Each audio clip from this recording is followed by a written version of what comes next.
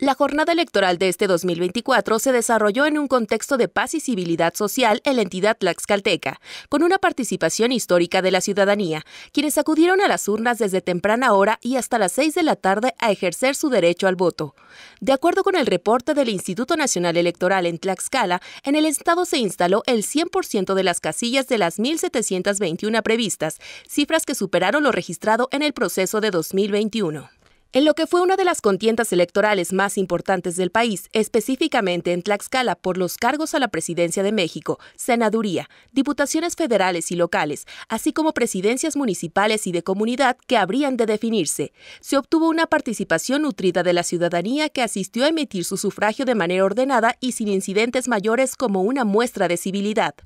Resaltar que en todo el territorio tlaxcalteca se garantizó una jornada electoral pacífica gracias al trabajo coordinado entre la Secretaría de la Defensa Nacional, la Guardia Nacional, la Fiscalía General de la República, Secretaría de Gobierno, Procuraduría General de Justicia del Estado, la Secretaría de Seguridad Ciudadana y el Secretariado Ejecutivo del Sistema Estatal de Seguridad Pública. Con información de la redacción, Coracit Noticias.